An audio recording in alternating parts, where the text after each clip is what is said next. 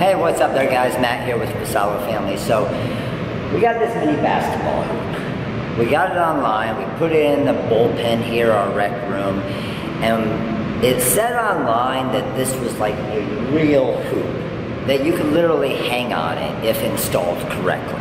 Now, we installed it into a concrete wall right here, so it's pretty secure.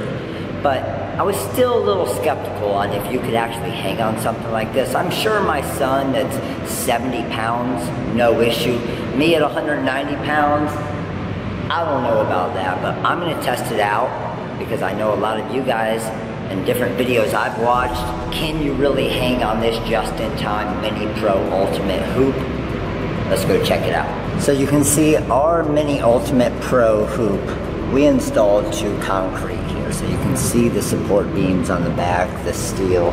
Now it does have half inch steel in a polycarbonate backboard that's also backed by an additional steel framing in the back here. So when you look at this hoop and I saw it online and I saw people talking about dunking on it, I'm like, no chance, it's an indoor basketball hoop. It is pretty expensive, it's $299, but honestly, this is a real basketball hoop in a mini version. It's pretty amazing. Now let's go see if we can hang on this thing.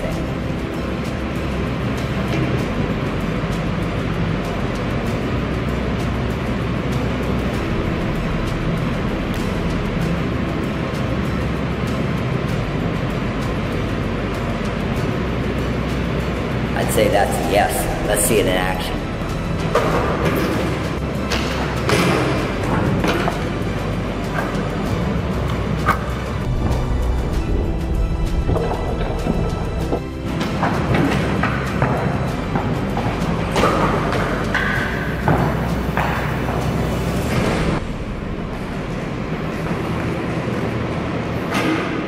So hope you enjoyed this video. Again, this is the Mini Pro Ultimate Hoop from Just in Tyme Sports.